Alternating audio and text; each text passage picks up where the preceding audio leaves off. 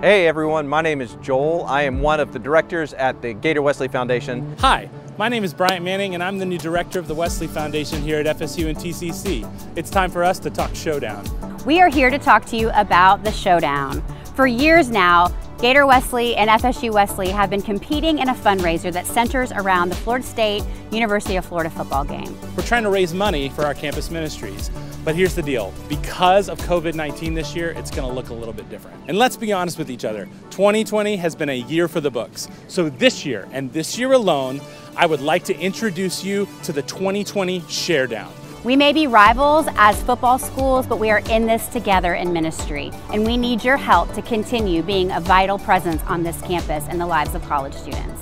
College students, and many of us were one once, they need things like security and safety and comfort. You all know and are aware how important campus ministries are in the lives of students. And so we need your help to continue to be a part of the lives of the students at University of Florida and Florida State University.